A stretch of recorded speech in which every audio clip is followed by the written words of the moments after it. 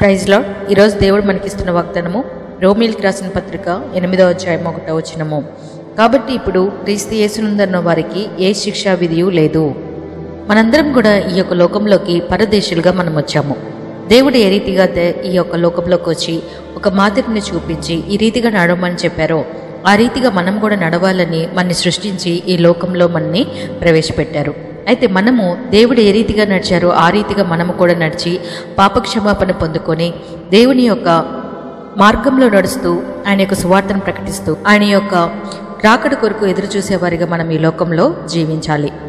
ఈ రీతిగా జీవించిన వారు మరి మరణించిన తర్వాత కూడా క్రీస్తు యేసునందు మరి ఏ శిక్షా విధి కూడా వాళ్ళకి లేదని ఈ వాగ్దానం ద్వారా దేవుడు తెలియజేస్తూ ఉన్నారు.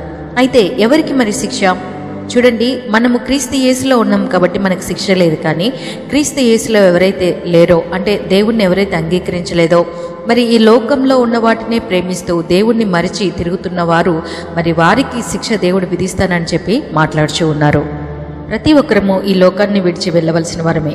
అయితే మనం మరణించిన తర్వాత నరకానికి వెళ్తామా లేదా పరలోకానికి వెళ్తామా అనేది ఈ భూమిపై మనం జీవించే విధానాన్ని బట్టే ఆధారపడి ఉంటుంది.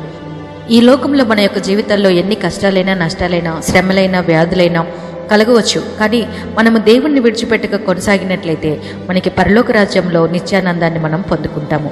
ఆ రీతిగా కాక మరి ఈ లోకంలోనే మేము సుఖపడాలి మరి ఈ లోకంలో మేము ఎంతగానో ఆనందించాలి అని చెప్పి ఆ యొక్క సుఖభోగాల వైపు ఆనందం వైపు మనం పరుగులెడుతూ దేవుణ్ణి మరచివారిగా ఉన్నట్లయితే మన యొక్క శేష జీవితం ఆ యొక్క నరకంలో గడపవలసి వస్తుంది.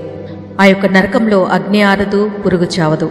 మరి ఇటువంటి స్థితిలో ఉండి యుగయుగములు ఆ శ్రమను అనుభవించటం ఎలా లేదంటే మరి ఈ లోకంలో మనకి కలిగే ఈ చిన్న శ్రమల్ని అనుభవిస్తూ యుగయుగములు ఆ యొక్క నిత్య జీవాన్ని అనుభవించటం ఎలా అనేది మనమే ప్రశ్నించుకోవాలి.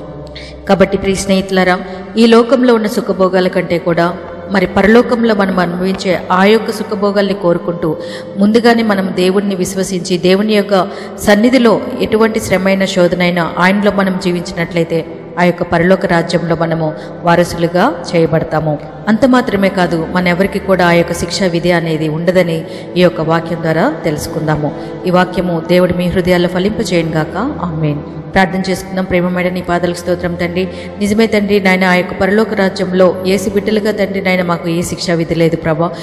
కానీ నిన్ను ఎరగకుండా ఎంతమంది జీవిస్తున్నారో మరి వారి శిక్ష పాత్రలని చెప్తూ ఉన్నావు ప్రభా. మరి ఇటువంటి వారు ఎంతమంది ఉన్నారో వారి యొక్క పాపములు కడిగి వేసుకొని ఏసే నిజదేవుడని విశ్వసించి రక్షణ పొందుకొని నీ యొక్క రాజ్యంలోనైనా వారు వారసులయ్యే కృపని భాగ్యాన్ని దయచేయమని ఏసునామని అడిగి పెట్టుకున్నాం మా పరమ తండ్రి. ఆమెన్.